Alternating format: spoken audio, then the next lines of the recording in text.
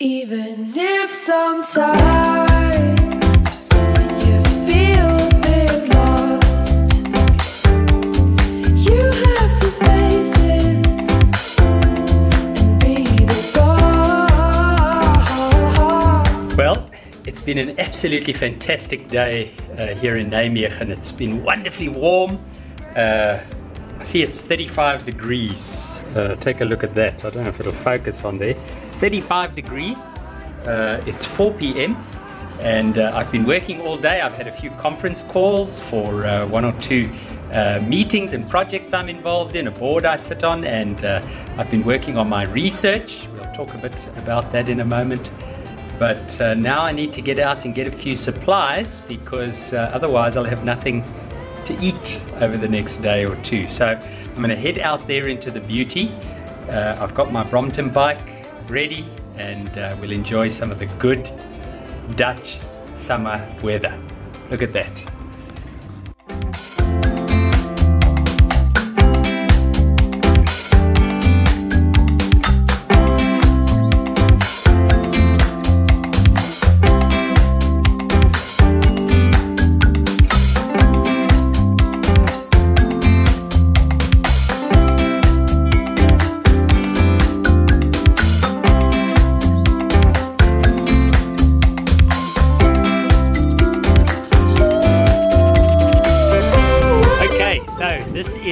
Of the uh, coolest things about being in Holland, and that is that I get to uh, ride my bike everywhere. So it is so much fun riding uh, a bike around, and the weather's good. I mean, I have been here in winter when it's been wet and cold and snowy, but uh, summertime is definitely the time to uh, enjoy a bike in Holland.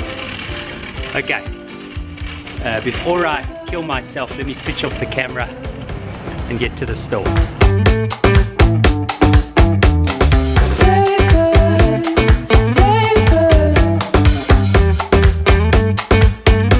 Okay, so let's uh, hop off the bike.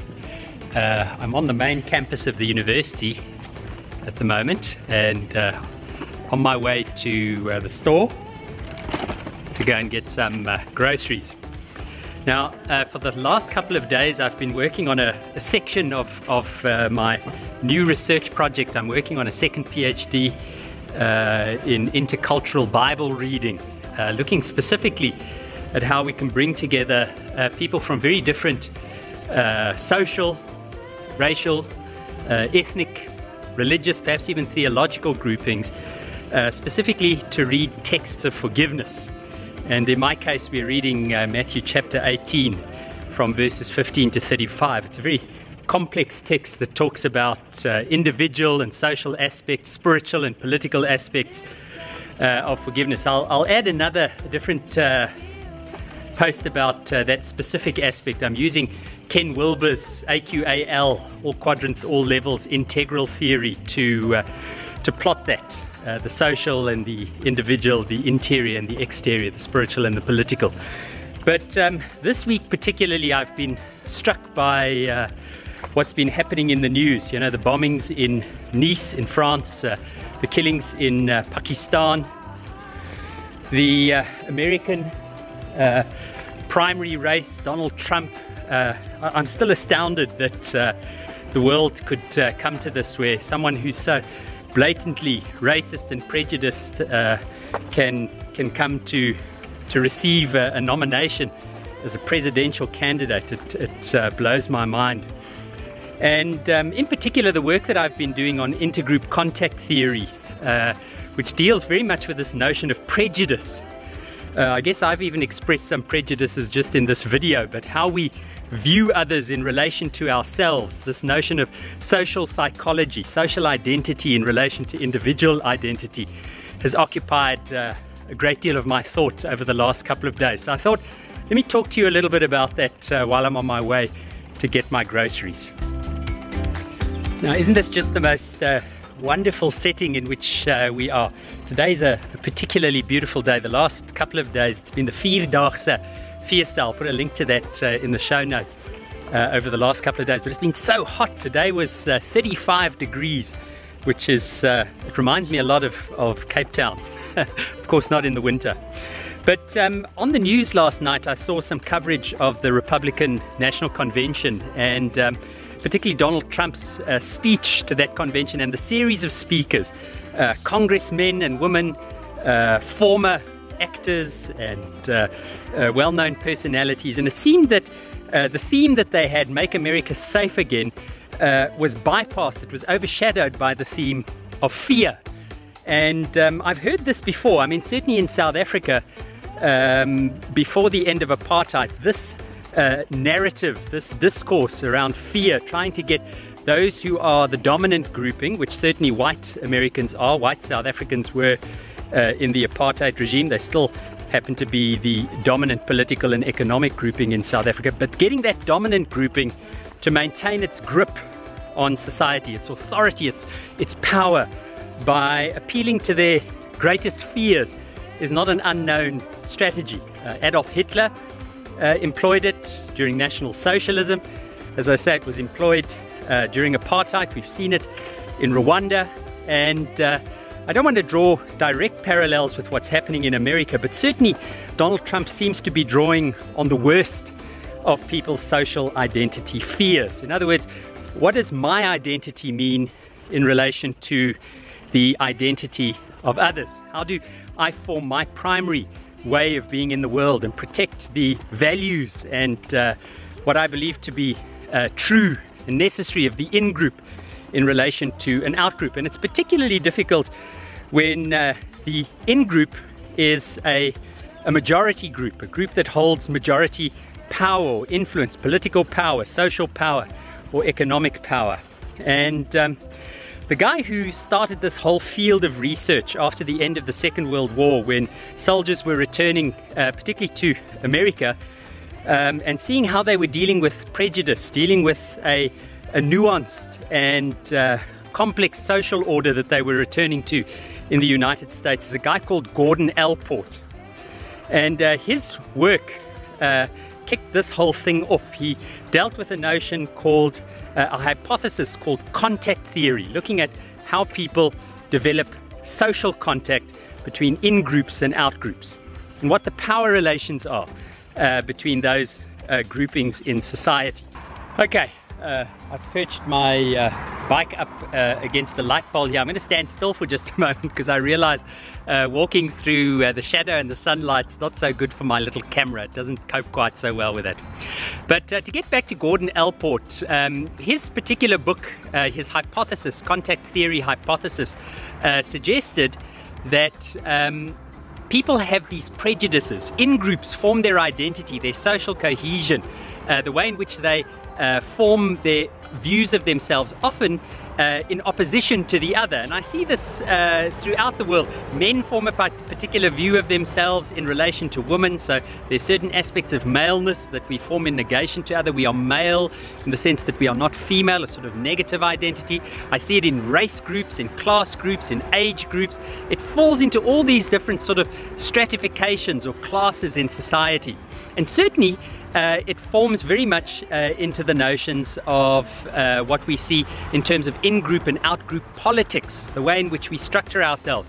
Mbembe calls this uh, a politics of identity, how we begin to attach certain prejudged characteristics to uh, another group and begin to think of them in certain ways. Whether it's true or not, uh, we've adopted this socially. Perhaps it's been informed by a stereotype uh, that we have of a particular grouping. So all men are this way, or all white people are a certain way, or all black people are a certain way.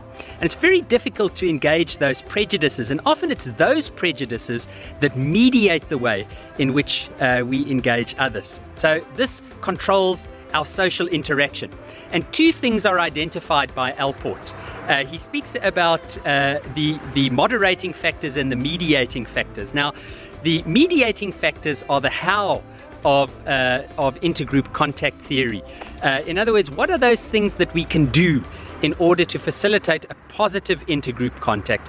And the moderating factors are those things that have to do with our psychological affect, how we feel about the contact uh, with the, the out group from our in group perspective.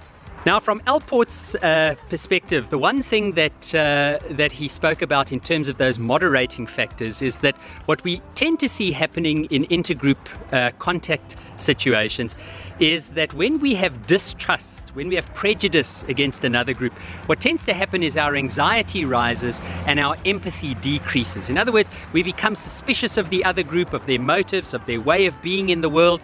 Because we don't understand it, we sometimes judge it. And uh, because of that, we find it very difficult to associate with them as persons, as human beings.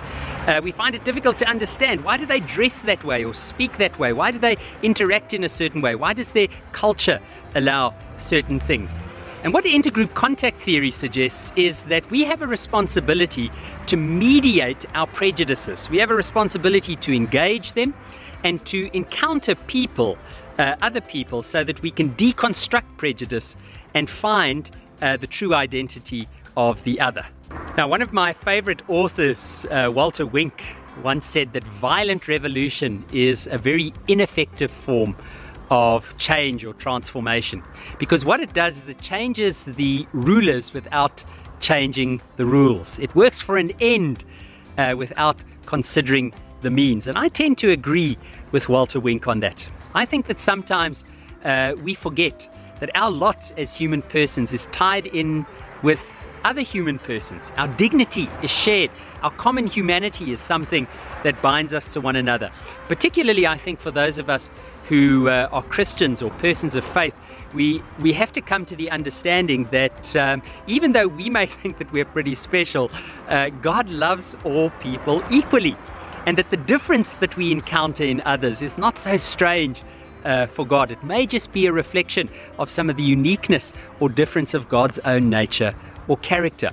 So here's the thing that I want to invite you to think about. Um, particularly if you are a leader, pastor, teacher, a community leader, maybe even in your own family. What can you do to interrogate and engage your own prejudices, to, to see what there is in yourself that may not necessarily be true about the outgroup against which you're prejudiced, about the other? What is there that you can do to facilitate a positive contact, uh, to create that space where you encounter one another? Now, the interesting thing about intergroup contact theory is that some of the most recent and most valuable research shows that friendship uh, across those lines of race or color or gender is one of the most effective ways uh, to deal with prejudice and break down uh, the sense of inequality, the sense of brokenness between ourselves and the other. So I really want to encourage you. I'll put some links in, in, in the show notes. Uh, if you're interested to read a little more about this, it would be wonderful uh, for you to follow those links. Uh, I'll add a couple of those uh, in the show notes and hopefully we can think together about what it means to, to share our humanity with others, uh, to appreciate difference and, uh, and not to subject people to our prejudices. So thanks for watching the vlog. I hope you found it useful. Uh, I need to uh, hop back on my bicycle and get to the store before it closes. It's a wonderful day uh, in Nijmegen. I may head out a little later for a run. If you've liked uh, the vlog or if it's made sense to you or even if you disagree, why don't you leave me a comment uh, down below. Uh, you can follow me on various social media platforms at Digital Dion on Instagram and on Twitter. And why don't you subscribe to this feed and you'll get notified whenever new episodes are loaded. Go check through uh, the previous episodes. There might be something interesting for you there to watch. So thanks for watching and uh, I'm going to get going now.